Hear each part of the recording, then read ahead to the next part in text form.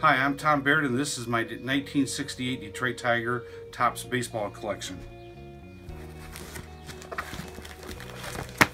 These are all Tiger baseball cards that I've collected over the last six years. All the star players, Willie Horton, Stanley, uh, Bill Freehan, Norm Cash, there's Denny McLain, Eddie Mathews, Hall of Famer, Earl Wilson, um, Jim Northrup. I collect any and all cards, any condition.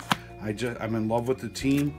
Don Wert, Pat Dobson, a, a rare player, Dick Tracewski, Mike Marshall, Ray Oyler, and probably my favorite player is Al Kaline. There's Norm Cash. There's Al Kaline, Jimmy Price, the announcer now. And uh, I have over 800 cards. Denny Reimack, and then manager Mayo Smith, and then finally the team card from 1968, probably the most valuable card, and that's my collection.